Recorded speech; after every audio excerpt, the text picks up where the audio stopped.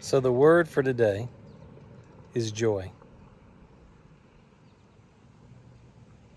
Fullness of joy.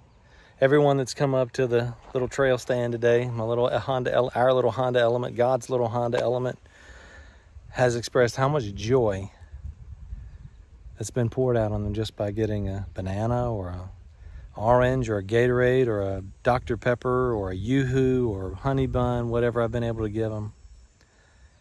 And the same word just keeps coming up joy.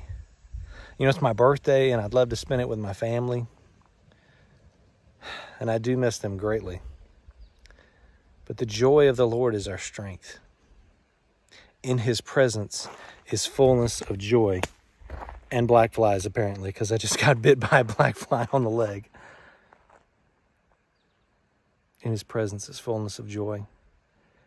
And that's what uh, that's what the word that keeps coming up. I haven't said it; they've said it. I've heard it about 15 times this morning. I've seen about 30 hikers so far. It's two o'clock. I've already seen 30. In His presence is fullness of joy. And listen, if you're not daily getting into his presence, and I don't mean just reading your Bible, I don't mean just, you know, listening to K-Love on the way to work.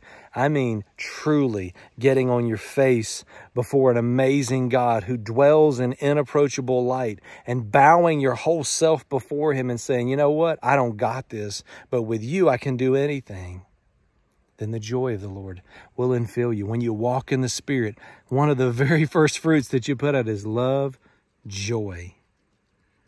Love's the first that comes out, enjoys the second. I just want to share that with you today.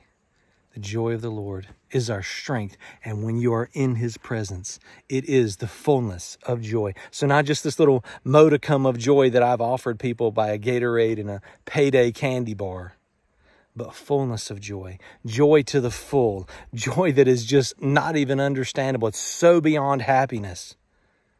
I just want to share that with you today. Joy. Joy. Do you have it in your heart? If you don't, you need to check down before you wreck down. something he's been teaching me. Check down before you wreck down because if joy is not in your heart, you aren't as close to him as you think you are. Have a great day. Listen, dwell in his presence. Be still before the Lord. Let him fill you up to the full of joy. Have a great day.